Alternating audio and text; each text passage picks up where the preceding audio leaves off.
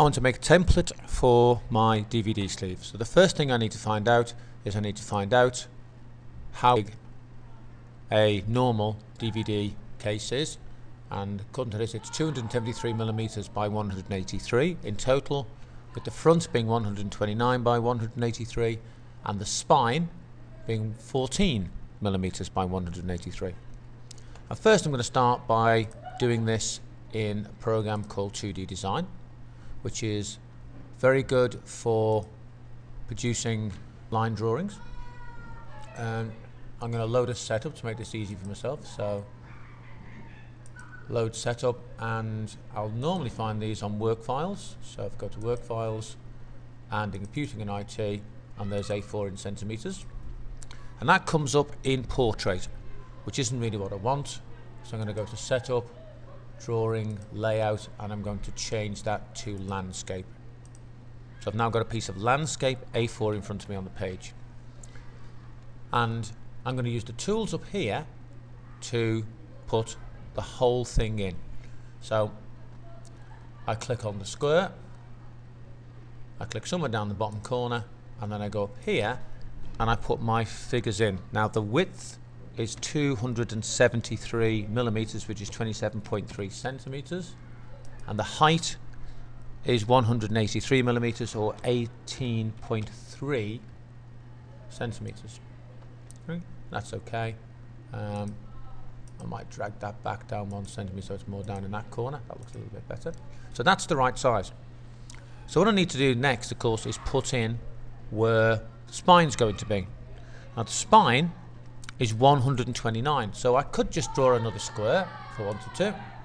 So I'll draw another square and this time the width is 129 and the height is 183 except of course I've got to put decimal points in because those are the figures in millimeters so divide them by 10 to get the figures in centimeters and I can then draw well, mm, actually drawing the next one could be quite tricky. So I can use something else here.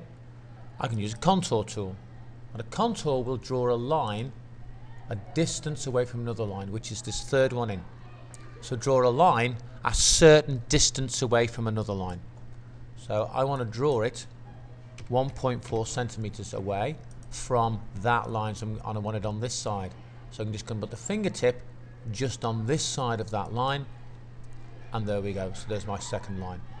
And if I measure if I put my measuring tool on just to check and I take grid level go to step lock and I put it right down in that corner I measure from there to there. That comes up as being 13 centimeters. That one comes up as being 12.9 so that one's slightly too big so I've gone wrong somewhere. And that's 1.4. So that should be 129 by 129. So obviously when I put the figures in, I've gone slightly wrong, but that's easy enough to solve. All I need to do is grab that one on the edge and take it in by one millimeter. So I just take it in by one millimeter. Okay, delete that. Check it again so from that line over to there. So I've now got 12, 129, 14, 129. And the height from top to bottom